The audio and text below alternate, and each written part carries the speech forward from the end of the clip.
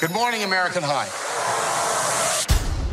America, a few years from now, prosperous, clean, and sober. Except one night a year, when all drugs and alcohol are legal. For you seniors, you will be able to participate in your first binge. Let's say your name's Kimberly Jones, and let's say you binged on a jet ski, which exploded into flames. She's here tonight. Can you guys guess which one she is?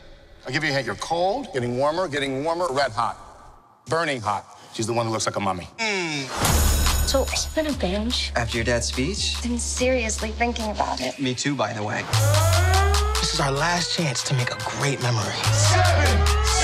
Tonight, we become legends.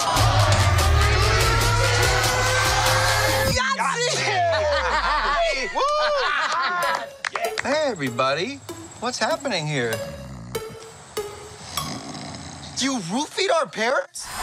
Look, we go to that party, you look Lena in the eyes and tell her exactly what you wanted to tell her your entire life. Let's go! Andrew here? You guys cops? I have friends, Mom. Why don't you believe me? Probably because your tendency towards violence that is banned from the church. I'll bury you behind a Jiffy Lube, and my friends are gonna help me. We will not be doing that. It's Lena. She just texted from the party. She asked how long till we're there. Tell her we're picking up some presents. It auto-corrected to I'm gonna get you pregnant. Fuck! Wait! We'll give you a ride if you punch each other in the face. What? We'll do it. One, two.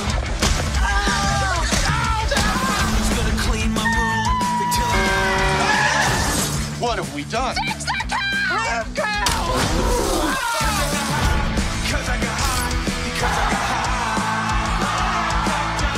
Rumor has it that the girls are here.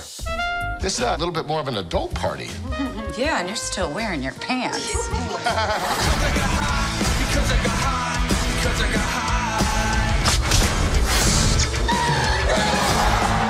To our first sip of alcohol. Another round? Absolutely. Go, go, go. I'll have some celery sticks. I really don't think we should be doing this many drugs. I don't think we should be doing anyone right. That's you.